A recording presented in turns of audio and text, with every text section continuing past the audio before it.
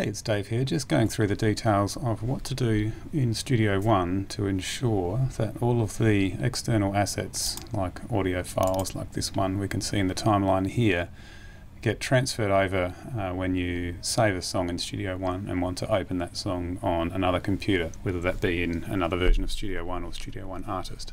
So the first thing to check is from the Studio One menu here, just go down to the options and under the locations tab at the top select user data and just make sure that this tag is ticked here uh, which is ask to copy external files when saving the song. It won't always ask for this but this just means it will when you uh, save the song to a new location. As long as that's checked, the following process should work fine. So if I click OK, because it's already done here. So it's turned off by default so you don't end up duplicating too much information. But in school environments in particular, you generally want to have it switched on so that kids don't have too much trouble um, saving a file on one computer and needing to open it in another. So what I would do if I was working in this particular session on this machine and I, I wanted to make sure that this audio was transferred over, I would now go to the file menu and instead of just choosing save or save as I'll choose save to new folder when I'm ready to save it for opening on another computer later on. And I'll then go to the documents folder Studio One and songs is where it should default to. Now this is its its current location. And if I just choose the songs top level here and save this to another folder um, I'll need to click new folder in Windows or you can use the shortcut control shift N and I'll make a new folder for this to go into. And I will call this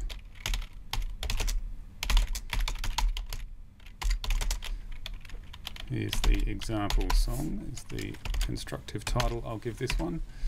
Close that. We'll hit enter to create the song. So I'm going to go into this new folder that I've created and we'll just give that um, I've copied the uh, the name I put in the folder so I've just pasted that in here so that can be the name of the song as well. And now I hit save. Alright and what we'll do if I close out of Studio One now and I just happen to have my documents and uh, Studio One and songs folder open in Windows Explorer here. So here's the uh, example that I just created and if I go into this folder now have a look inside you'll see we've got the, the cache folder for what it's auto saved and the media folder. And you'll see in here now that piece of audio you can see it's now inside the song folder. So this whole folder is then what you'd want to copy uh, to another machine so you basically copy this and if for instance I was to take this, drag it to the desktop, alright, so it's in a totally different location now, I'll close that window down and let's open this up and if I just launch Studio One by launching this song, there we go. So now that recovered the uh, the audio, even though from the original song it's sitting in a different folder somewhere that um, it wouldn't necessarily look in. Um, if I'd launched it this way. And we should find that's now good to go. So um, what people generally tend to do when they're inexperienced is just copy this file uh, and then they copy that file and then they uh, try and open that file on another machine where the audio doesn't exist, and then they wonder why there's no assets in the uh, the session that opens. And people do the same thing with Pro Tools and and other audio applications. But the important thing to to understand about these things is that it's not just all contained in the one song file. It's generally contained in a folder, in a media folder with all of the assets associated with the session. Uh, so as long as you copy the whole folder, I'll show you that location once again uh, where I saved this one to originally.